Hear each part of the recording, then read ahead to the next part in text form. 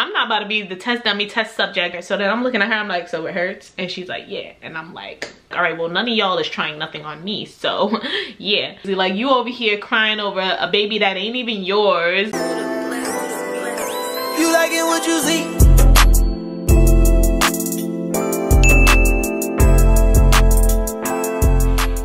Welcome back to my channel. Welcome if you are new. If you are new before you leave here today make sure you hit that subscribe button. Turn on your post bell notification so you are notified every time you get upload a video. And definitely chat with me in the comments below so boom, as y'all can tell by the title, today I am doing my labor and delivery story time. Today is actually exactly one week since I gave birth to my beautiful baby girl. So if you guys haven't already watched the actual labor and delivery vlog, I will link it in the description box. Her name was also revealed in that video, so make sure y'all will actually watch through the video. I know it's kind of long, but don't be skipping around and all that good stuff. So, um, as I have mentioned a lot of times throughout that video, and in the title itself my labor and delivery was very very unexpected. My original due date so i actually kind of had two due dates kind of not really. So um according to the sonograms my due date should have been october 15th but according to my the day of my last period it should have been october 18th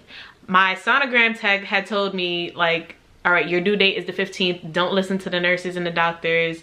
They're gonna try to change it around. It's the 15th. But then the nurses and the doctors said, no, it's the 18th.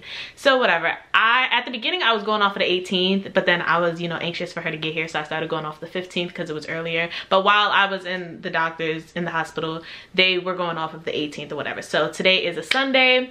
I would have been 36 weeks today my daughter is a week old today and as I mentioned in the end of the last week's vlog, she is in the NICU because she was born five weeks early, but she's fine, y'all. Everything's okay. They're just making sure she's able to do on her own before she can officially come home. So let's rewind to the day that my water broke. So boom, my water actually broke on my boyfriend's birthday, her father's birthday, and it broke late at night so granted i wasn't expecting her to come on his birthday even though i'm sure he would have been dumb hype if she did. But at this point it's like okay dang she's gonna be a virgo y'all.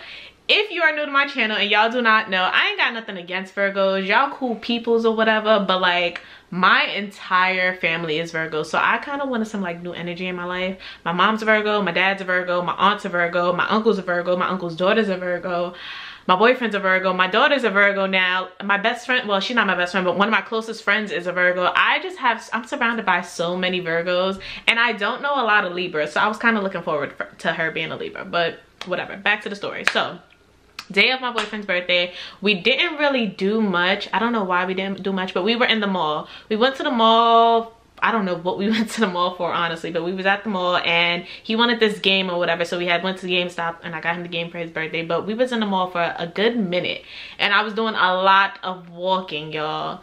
And my stomach did start hurting but I didn't think nothing of it because granted I was pregnant during the you know corona era. So i spent a lot of time inside my pregnancy. So i haven't been doing as much walking. So all that walking i did that day i guess must have been a lot. Took a toll on my body. Ah ah ah. So the plan was after we left the mall he was going to meet up with his friends or whatever and they was gonna have like a little get together and i was supposed to be cooking or whatever. So i got home and he dropped me off at home and then he left right back out so then i'm home and i was doing some business orders or whatever and it's not TMI, but it's kind of funny to be saying on camera. But boom, I farted, I farted, and then like a little bit of liquid came out. So I'm thinking, I'm like, did I just like pee on myself a little bit? So I actually texted him, y'all, and I'm like, why I just pissed on myself?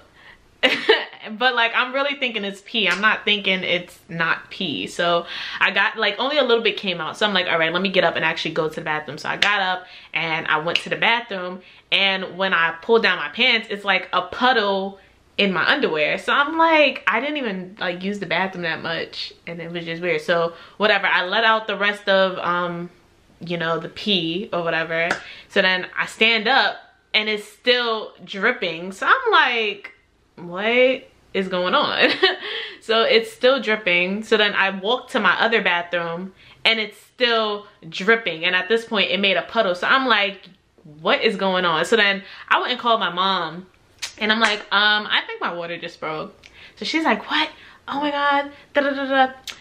So she's with her friend at this point or whatever. And Her friend's like, oh, make sure you, well, obviously they're telling me to go to the hospital, but my boyfriend wasn't here so I didn't have like a ride to get to the hospital. She's like, well, how far is he? I'm like, he's like 20 minutes away or whatever. And she's like, well, he needs to come back right now. You need to go to the hospital.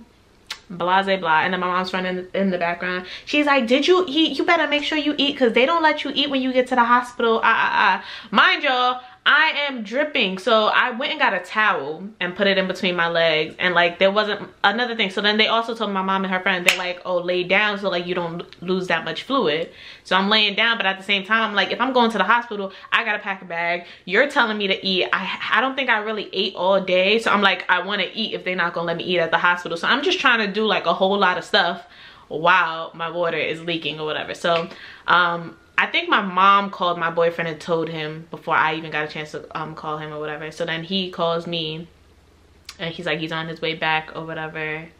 And yeah, that was that. So waiting for him to come back, I ate something really quickly. I packed a little bag, but it was nothing in it. I didn't have a hospital bag or anything prepared because granted, I still had like how many i had like seven more weeks till my actual due date. So i didn't I, mind you my sister she's like oh do you have a hospital bag packed? And i'm like um no i was gonna pack it after the baby shower because you know the baby shower i get you know some of the stuff i need. And also i wasn't expecting to go into labor this early. So i didn't have no bag packed but for that specific moment all i packed was my phone my laptop my phone my laptop my camera a toothbrush and that's all I packed. I didn't pack no clothes. I think I packed, I have like some fuzzy socks. I packed that to walk, and my slippers to walk around the hospital. But other than that, I didn't pack no clothes. So boom, my boyfriend finally gets here and I'm in a pink robe. I have my pink um, DSU shirt that I had on in the vlog. I don't have no underwear on, no pants. I have a towel in between my legs. I tied up the road, the robe, and we left just how how I came in. So we get to the hospital, we go to the emergency room side. Mind y'all, I had never been to this hospital before, but it was the hospital that I always planned on giving birth in or whatever. So my insurance and all that that isn't in the system, but we get in through the emergency room and I'm like going to pull out my car. Mind y'all, on our way to the hospital, I'm not contracting, none of that. I'm not in pain. My water just broke and I'm just leaking and it's just like, okay, what's going on? So I get to the hospital so after I check in, they had bought a wheelchair downstairs or whatever and pushed me up to some room or whatever. So we entered the room and it's mad doctors and nurses and it's it's just looking like it's a class going on. And I was like, oh, y'all not finna, I'm not about to be the test dummy test subject, but it's just mad at them for no reason. And it is one lady that's like explaining to them what's going on and what she's about to do. And I'm like, all right, well, none of y'all is trying nothing on me. So yeah. So I, I, get up from the wheelchair and get into this little stretcher that they had for me and the poking begins. So they drew some blood and then I, at the time I didn't know, but that's when they had inserted the first IV in my arm and I was bleeding a lot, but yeah, and it really hurt. Um, then the head doctor, I guess, I came in. He was like, all right, we're gonna check your cervix to see if you're dilated or anything, blah, blah, blah. So then he checks and he enters his hands or fingers, whatever, in me. And he's like, oh, that's the baby's head. My boyfriend's like, oh shit. And I'm just like, so it's like right there that you can feel it that easily. He's like, yeah, baby's head, head down, but that's a good thing. Blah, blah, blah. So at this moment, I'm thinking, all right, I guess my sis is coming tonight or tomorrow. It's about to be one, two, three. I ain't finna be in here long. Mind y'all, here's the thing. So my water broke on the 4th and my baby shower was the 8th. So yeah, but again i'm thinking i'm like all right she's gonna come tonight you know be out of here in two three days.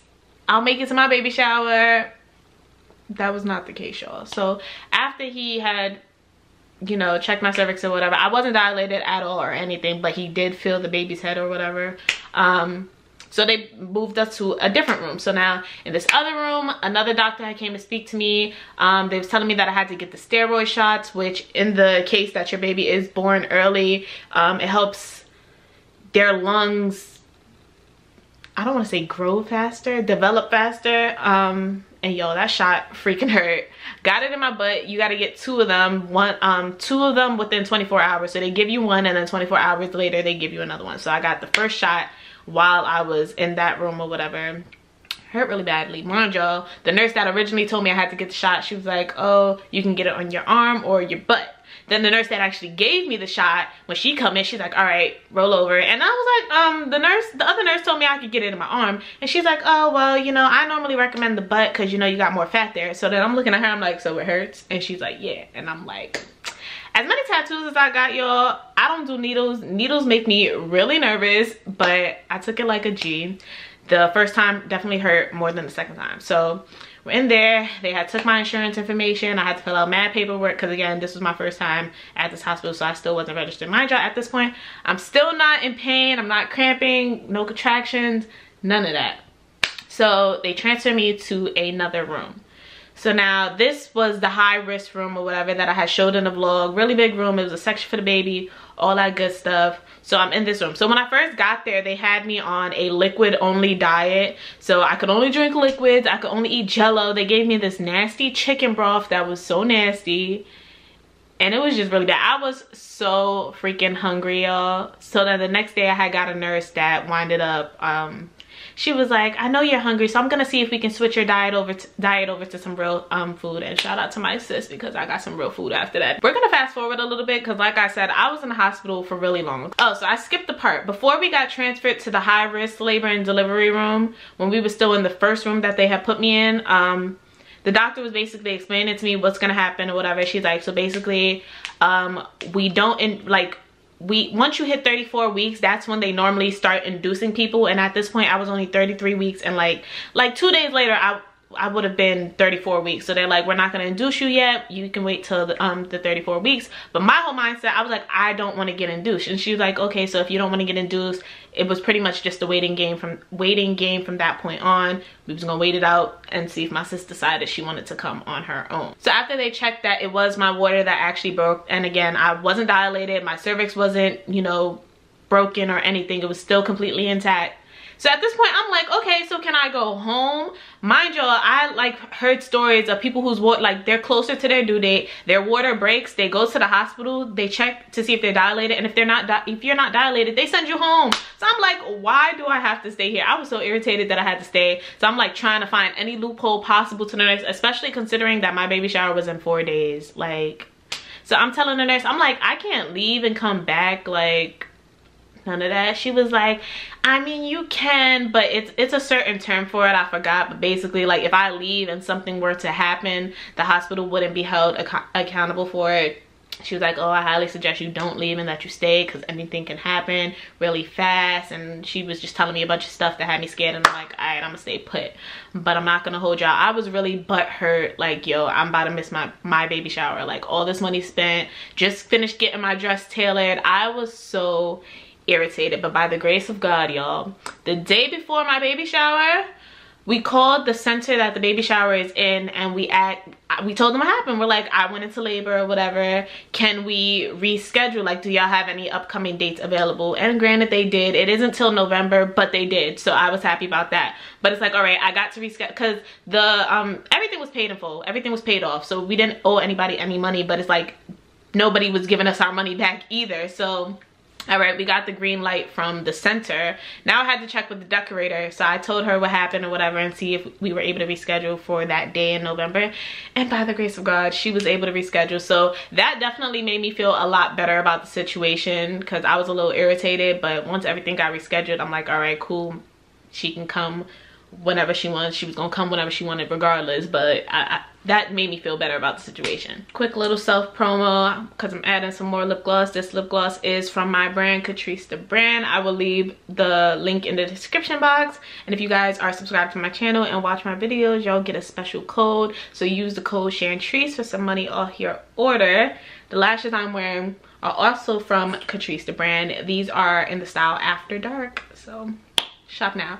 Um so yeah back to the story. So again over the course of me being there for nine days they did a lot. Every day all right so for the beginning i was hooked up to the um, baby monitor the monitor her heart rate and my co contractions. I was hooked up to that for two days straight like all through the night i had to sleep with it on and all that. It was so uncomfortable. And i was on some antibiotics and something else. The antibiotics because when your water breaks you're at a higher risk of infection. So they just wanted to make sure like i didn't get an infection which was also another major reason why they didn't want me to leave the hospital because the infection could also you know harm the baby.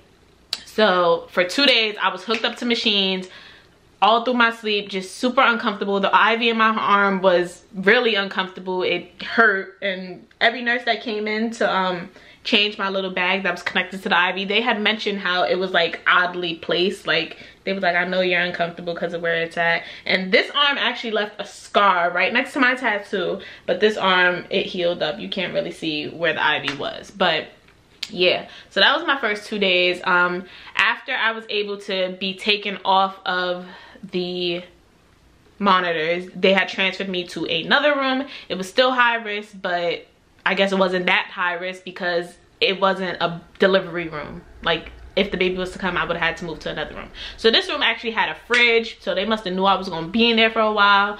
Also every morning somebody would come in well two people would come in at 6 a.m talking to me asking me a bunch of questions waking me up out of my sleep y'all if anything being in the hospital as long as i have been definitely prepared me for when she does come home because if i was asleep they didn't care. They was waking me up. They was coming in early late at night all that good stuff. So my sleep pattern now is definitely adjusted to that. So when she comes home i think i'll be i'll be good. Um so yeah so come to find out actually though those two people that were coming in the morning were the people that delivered her. So i guess they wanted to get acquainted with me over my stay and just every morning ask me questions like if the color of the fluid had changed because i wasn't leaking the um like my water sac wasn't leaking the entire 10 days or 9 days or whatever before she got here. Like it, i came in and it was a lot. The next day it wasn't that much. And then it stopped for a while. Then it would only happen in the morning one time a day and then it would stop. Like it was never too much. So yeah they was um checking to see if like it changed in color and smell all that good stuff. And basically i was fine. Like i was just chilling. I was never in pain. I was fine. So we're gonna speed up to the day before um she came. Because my whole thing was i'm talking to my family and everything and everybody's like your water broke but like they're not inducing you. She's still not here. Like babies need the amniotic fluid inside of you to you know survive. Granted also they're also every day they're also making their own amniotic fluid for them to live in. So like as i was losing some she was producing her own to fill it back up but that wasn't the point um they all just like my family all just found that real sus like how your water broke and they're not like they're willing to let you not be induced so I took it upon myself and I'm telling them, I'm like, oh, like, is there a way to check how much amniotic fluid is still, you know, surrounding her? So they're like, yeah, you got to do an ultrasound, blah, blah, blah. So the day, again, at this point, I didn't know it was going to be the day before I went into labor, but the day before she was born um, is when they did my uh, ultrasound, but it was also like a testing that she had to get points and all this. She passed the test, but I'm not too sure exactly what the test was, but her amniotic fluid levels were good.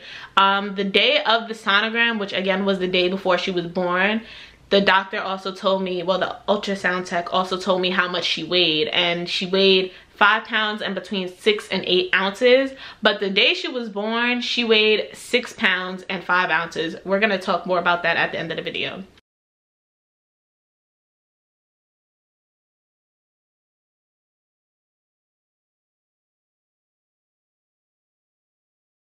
So boom she passed her little sonogram test that they had did and that was that. So now we're on September 13th, 2020, which is the day I gave birth. So boom, that day again people came in at six o'clock that morning talked to me. I went back to sleep. My breakfast came at eight o'clock. I ate my breakfast went back to sleep. Um, and then now it's like 11 o'clock. So the nurse i had today like every day i had a different nurse but sometimes i would see the same nurse more than once throughout the week. So this specific nurse that I had she normally lets me sleep. She don't really be waking me up to hook me up to the monitor and all that to monitor the baby heart rate. But this specific day, she had said something when she came in but again i was asleep so i didn't really hear her all i heard was I need to put you on the monitor now. So I'm like, okay, whatever. So she hooks me up to the monitor or whatever, and then she leaves back out. So now I'm up chilling on my phone.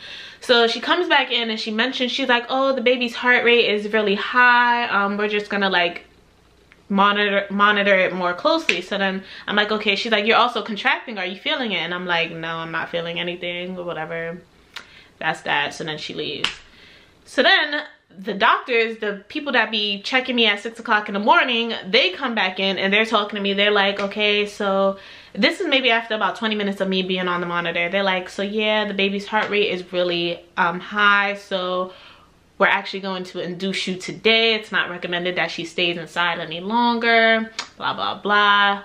So then she proceeds to ask me questions. She comes to feel my belly and she was like, okay, baby feels like she's head down, blah, blah, blah.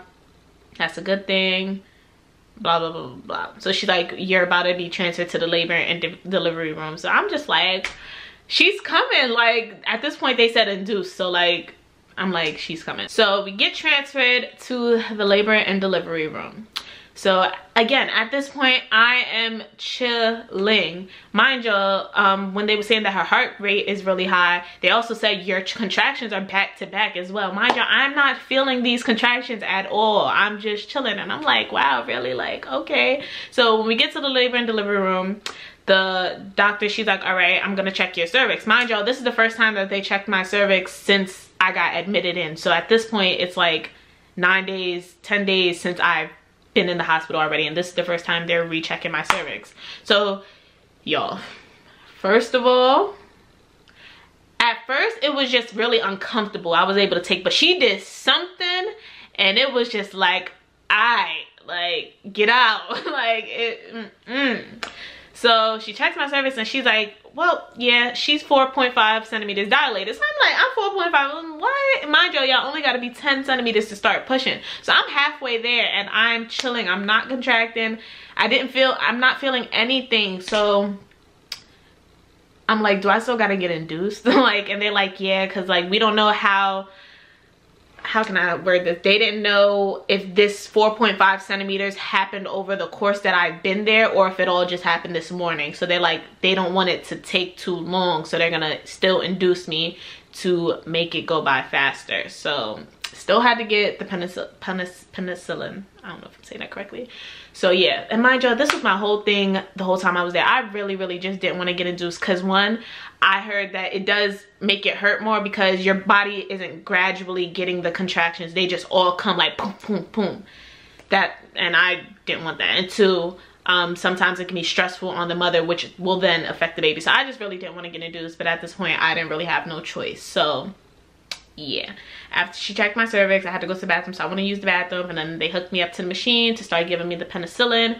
And y'all as soon as i got that penicillin that is when I started feeling those contractions, y'all. And I really, really, really tried to thug it out, yo. Because that's another thing. I went in there with the mindset that I'm going natural. I'm not doing no epidur epidural. So, again, I'm trying to thug it out. I let them rock for like a good 15, 20 minutes. I even tried to vlog it for y'all, but it was, it was a fail. But after 15 minutes, I was like, I cannot do this. Mind y'all, when they first kicked in and I first started feeling them and I was in pain, the nurse was asking me, she, she asked, she like, do you want an epidural any pain medication? I didn't want no medication. I didn't want no epidural. I was like, no, I'm cool. I got this. I'm fine. But after 15 minutes, I, I told my sis, I was like, I need that epidural. Go get it. So she got the um, epidural guy to come down or whatever. And mind y'all, something they don't tell you well not something they don't tell you. I guess it's kind of pretty obvious common sense or whatever but like you can have a, a contraction mid them trying to put the epidural in, in you. Mind you you're not supposed to move. So that was one of the hardest things be trying to stay still and having a, con a contraction and it just hurt so bad. And the guy if i'm having a con contraction when he's about to do it he's not gonna wait for that contraction to be over. He's still gonna proceed. And i'm just like i'm in pain right now sir. Like you can't wait. But overall the actual epidural didn't hurt it didn't hurt. I've been getting poked all week and had needles in me all week, so I expected it to be a lot worse from, you know, the horror story stories and stuff you hear about epidural. It wasn't bad, y'all. It's like a regular little shot. Or it's comparable to the freaking um, IV they put on you when you first go in before you even go into labor, if anybody was considering um getting epidural. So after I got the epidural, y'all, I'm expecting this epidural to work like this. Like I'm expecting the medicine to shoot up my back and I wasn't gonna feel nothing no more. It took a good like 15 minutes for that epidural to kick in. So I'm like, I'm glad I asked for it when I did. Otherwise, I would have been feeling these contractions a lot longer than needed. So epidural finally kicked in. They had to put um, a heart rate thing blood pressure thing on me. They were like, since you got the epidural, we just gotta um, keep tra keep track of your heart rate and stuff. And I had to get an air mask to uh, oxygen mask to breathe through for whatever reason. And it was just a lot going on. So then, so then, y'all, I had a bonnet on originally, and she comes, the nurse that was taking care of me, she comes in and she puts the blue cap on me. Now, y'all, watched enough YouTube videos, YouTube labor and delivery videos, vlogs, whatever, to know that the blue little bonnet and like the blue jumpsuit and all that is for people that are getting C-sections. So yeah, just keep, just keep that in mind. So my sis put the the blue blue cap on me. So in my head, I, I ain't really say nothing, but I'm just like, I ain't getting no damn C-section, okay? So the epidural finally starts kicking in and sadly, that's when I picked up my camera to start vlogging again, y'all. So once you get the epidural, they have to put a catheter so you can use the bathroom because you can't, at this point, I couldn't feel my legs. It, it, was weird like i was expecting to really not be able to feel my legs but like i was it, it felt like my legs were asleep y'all know when y'all legs fall asleep and then it gets that like tv static feeling that's how my legs felt. And like I, like they had me like move them and like try to lift up and I felt like I wasn't doing any of that but it, obviously was happening. So to an extent like I felt my legs but I didn't feel it ain't making sense but y'all just gotta get epidural and, and figure out what I mean. So yeah um, when you get the epidural they have to do the whole catheter thing so you can use the bathroom. So my sis comes back in to enter the catheter or whatever and when and when she's eh, and when she's going to insert it she's like oh hi baby. And me and my boyfriend we look at her like what? And she's like yeah the baby's head is right there. Um you're having a baby. And i'm like what? Like it's all just it all just happened so freaking fast. Mind y'all when she went to put the catheter in i had only had the epidural for like 30 minutes at this point.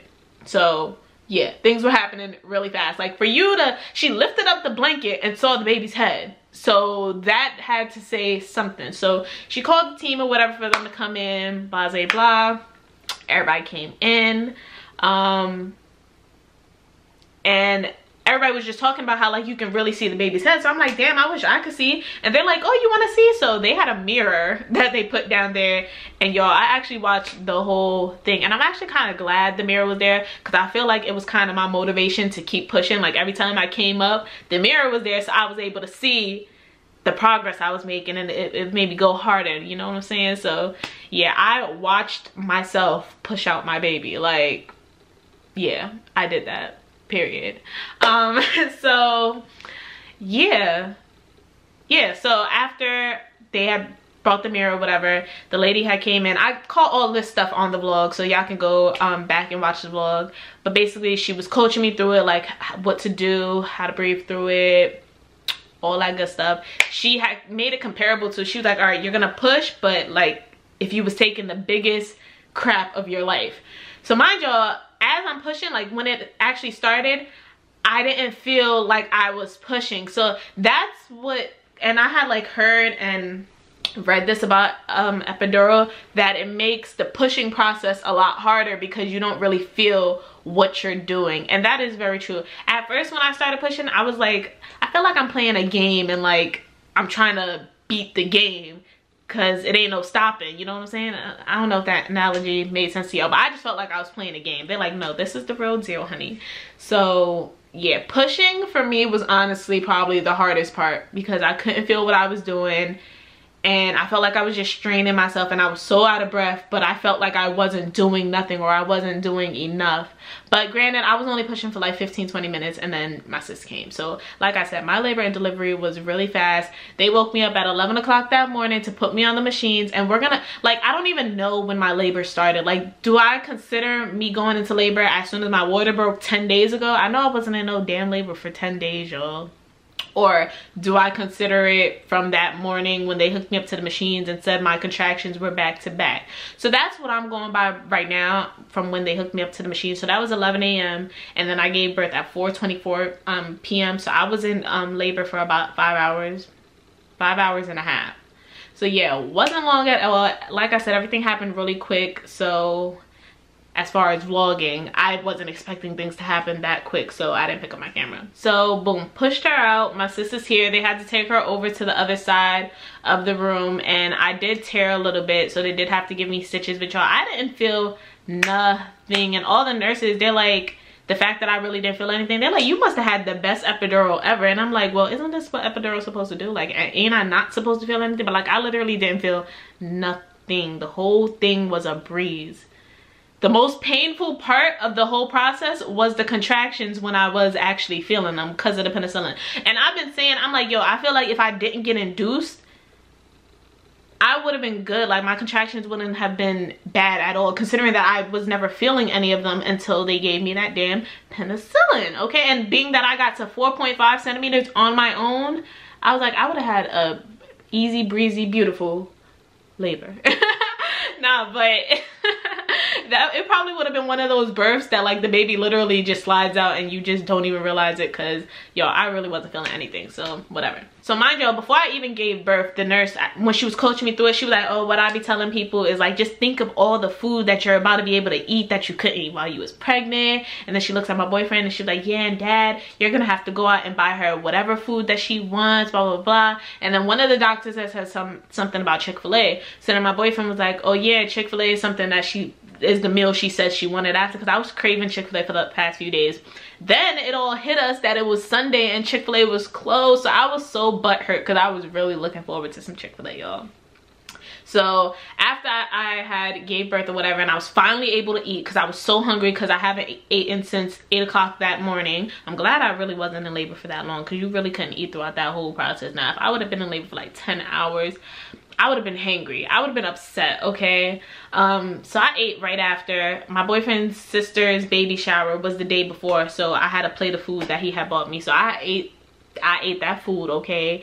And then like five minutes later, I started feeling really nauseous and I threw it all up. So then the nurse, she was like, yeah, that's because you ate too much too fast. And she was like, I was gonna say something, but you kept mentioning how you was really hungry, so I just let you eat it. But it's normal, blah, blah, blah. So I'm just like, all right now I'm hungry again. So after that, they transferred me to another room, which was the postpartum room. It was upstairs. And then I had the NICU doctors that came and talked to me and just um, told me about what's going on with her. Because again, my daughter was born five weeks early. So she was and still is in the NICU if you guys were wondering. But she's doing great. My sis will be home soon, okay? Free her.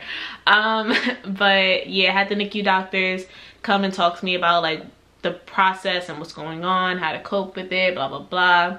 At this point, my legs were still numb. The epidural hadn't completely worn off yet.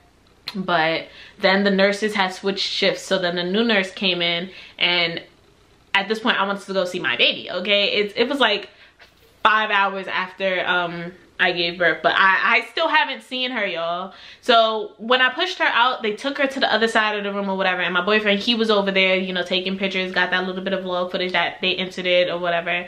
Then they did bring her over for like two seconds for me to see her. And then they had to take her back up to the NICU. So yeah, I wanted to see my baby. So when the nurses um switched shifts, I had to do a walking test to make sure, you know, I was able to be on my feet um, before I was able to go downstairs or whatever and I was fine but they did still put me in a wheelchair. Now y'all, this is the crazy part, okay? Listen to this. So they had a girl come upstairs. She was really young too, but they had a girl come upstairs that was that had the wheelchair that was gonna take me um down to the NICU. Again, really young, like she was no older than like 23. I wanna say she was like 19 because she looked really young, but yeah, so I'm in the wheelchair and she pushed me downstairs or whatever. So with the whole COVID thing going on, um, they don't let both parents in the NICU at once, which I think is so dumb. Like, I don't want to say it's dumb, but like it's in, it's, it's kind of inconsiderate. Like I didn't, I, I don't like that rule. At the end of the day, we're her parents. When this is all over, she's gonna be come home to the both of us. Like they also had a rule like you can only sign for one other person to come see her other than mom. So i put my, obviously my boyfriend as the only other person that can see her but i didn't see the problem with both of us being in the room with her at the same time when upstairs in the room that i was staying in he was in there with me. So like if i did have something he would have it or if he did have something i would have it and one of us would still be allowed around. It just i i didn't like that. So yeah um back to the girl bringing me downstairs to the NICU or whatever. So you have to stop in by a desk, sign the book or whatever. Then they have this whole um, hand washing kind of thing for you to do to make sure you know you know you're not bringing any germs into the baby. So the girl rolls me to the room and she's like, all right, this is the room, blah, blah, blah. So again, I only saw my daughter for like a brief two seconds. So just keep that in mind. so I get up at the room that she dropped me off in and it's the incubator box or whatever and the baby's in there. So i woke over to so that now at this point it hit me. Like even after i gave birth it didn't really it still didn't hit me like yo i'm a mother. Like i'm somebody's mom. Didn't hit me. But seeing the baby in the box like that hit me like yo. And it was just so freaking sad like seeing them all hooked up to you know with a bunch of wires in them and things in their nose and it's just really so freaking sad y'all. So i started crying. So I'm, I'm in there tearing. So then the nurse comes in and then she was like oh hi what's your last name or whatever? And i told her and she's like can i just see your badge um your band? Because they also give you a band that has numbers on it and like your baby has the same band with the same numbers on them. So she looks at my band. She's like yeah i had a feeling. You're in the wrong room. Y'all.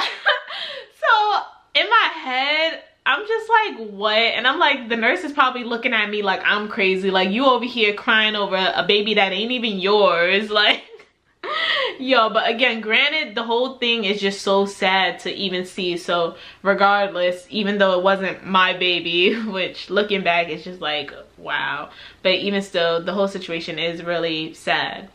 So the nurse took me to my baby, my actual daughter, y'all. So yeah, I was down there with her for a little bit, but it was just really like anybody out there that has a child that was born early and had to spend time in the NICU, then y'all know the feeling, but it was not a good one at all. So yeah, I was down there with her for like an hour or so, and then I had went up because it was really late. And yeah, that was my labor and delivery experience, y'all. If y'all watched the vlog, and in case y'all was wondering how to say my sis name, her name is Kaya Katrice. Okay, the Katrice. Somebody had told me, had commented on the video to comment. I mean, somebody had commented on the vlog and asked me to explain like why I chose that name and all that good stuff. So, and what I was originally going to name her. So if y'all are real OGs and y'all been subscribed to my channel for mad long. Y'all know I always wanted to name my daughter Kalia because I'm Khalayha and she was gonna be a mini me so it was just always Kalia.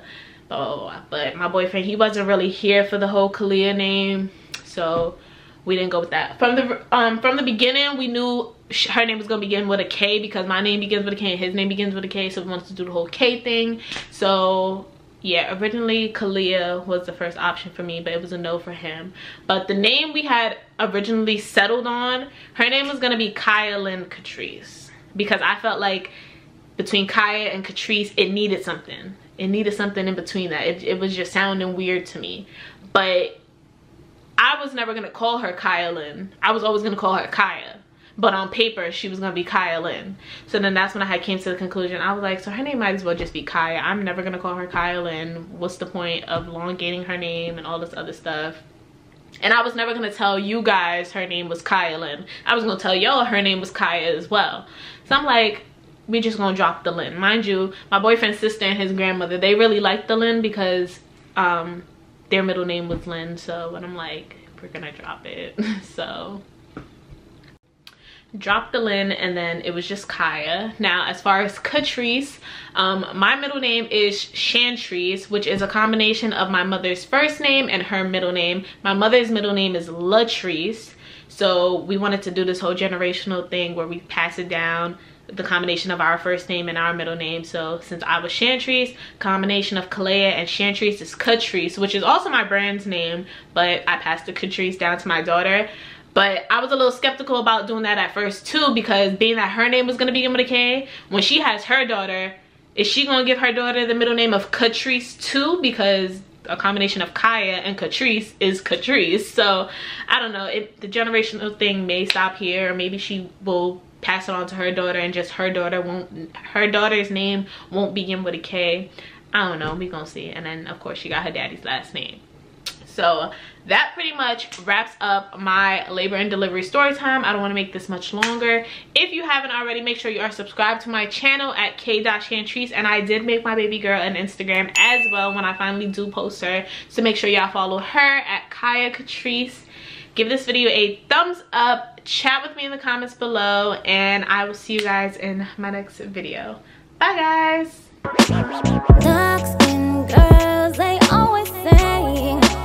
pretty for a dark skin, yeah. You're pretty for a dark skin.